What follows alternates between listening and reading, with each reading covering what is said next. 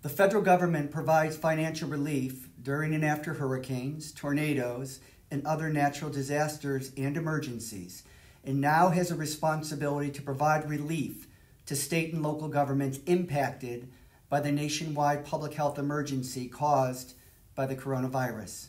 Right at this moment, essential police, fire, sanitation, and other frontline services are being provided by state and local governments. In days and weeks to come, Congress must approve robust, direct disaster assistance to states, counties, cities, towns, villages, and school districts to prevent insolvency. Democratic leaders recently recommended, and I support, providing up to $1 trillion in assistance to state and local governments.